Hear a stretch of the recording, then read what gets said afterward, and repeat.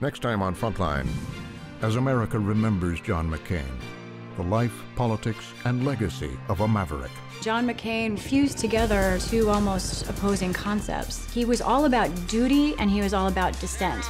And what it tells us about America today. My service is the most And it's hard to imagine whether there can be another one these days. The system doesn't encourage independent thinkers and mavericks.